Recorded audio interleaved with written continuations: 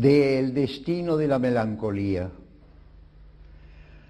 A merced del destino levanto en la mañana el estandarte limpio de la primera rosa, anuncio de los días que por vivir esperan, otoños venturosos en la memoria siempre. Largo, el pasado mira desde el balcón abierto las tardes de un estío inacabable y puro, donde el amor nacía entre los prados blancos y el sol iluminaba los tenues trajes verdes.